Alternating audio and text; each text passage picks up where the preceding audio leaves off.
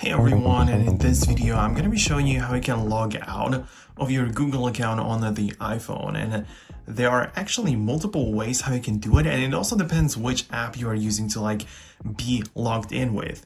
Because for example, if you go to your Safari, you may be logged in with your Google account right inside the google.com. So right here at the top of the page, you have your profile picture. You can tap on it and you can easily just log out. It's not in English, but here is the log out button.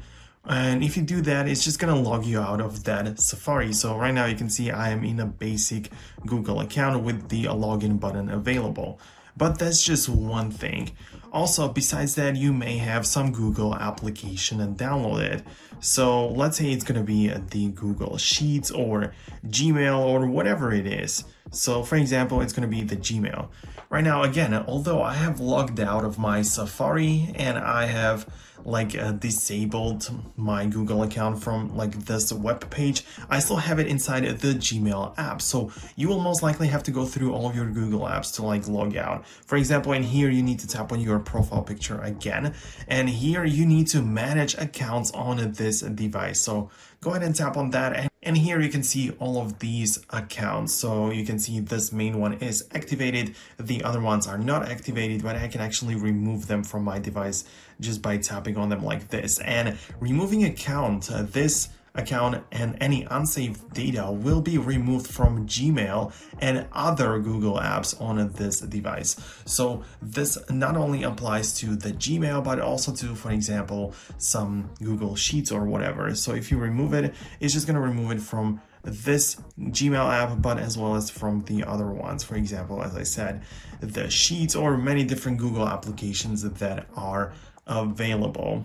But you should also know that you may not actually use anything from Google and still have the Google account there. So it doesn't really matter. For example, in the Notion app, when I just go inside Notion and I'm actually seeing my notes those notes are logged in with my Google account, with my Gmail again. So this is kind of annoying actually because I use Google for many different things, but it's great that it's so integrated. But the annoying thing is that if you want to log out, you have to go through all of the apps, but the service is really good. So yeah, I just kind of thought that you should know about it. And also the next thing and the last thing is by going through the settings. And if you go, for example, to your email contacts or calendar, you may see all of your accounts in here. So again, you can see my Gmail account, but this one has never even showed up inside my Gmail or uh, the other Google apps, not at all. But this is right inside the iOS settings. So this is another place where you may have your Google account ready. But if you want to like remove it, you can just delete the account or deactivate the mail, contacts, calendar, or notes. So that's how it works. These are all of the places where you can delete or like log out of your uh, Google account on the iPhone. I hope the video helped you out and I hope that you found it valuable.